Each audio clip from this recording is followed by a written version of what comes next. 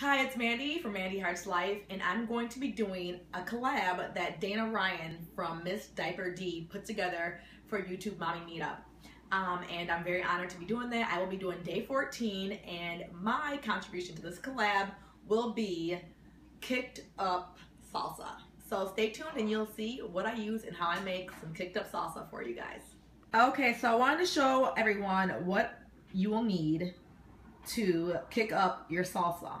So I'm gonna start with the food here. So you need salsa, obviously, and then you're gonna kick it up by adding a, a whole can of corn, drained, rinsed, a whole can of black beans, rinsed, drained, I should say. Uh, you're gonna need cilantro and two avocado, a lime, and then back here I have some garlic powder from Costco, some cumin from Costco, and sea salt from Trader Joe's. Now, these are all optional. You can you season the taste, you season what you like to season with. This is just what I am doing to make my kicked up salsa.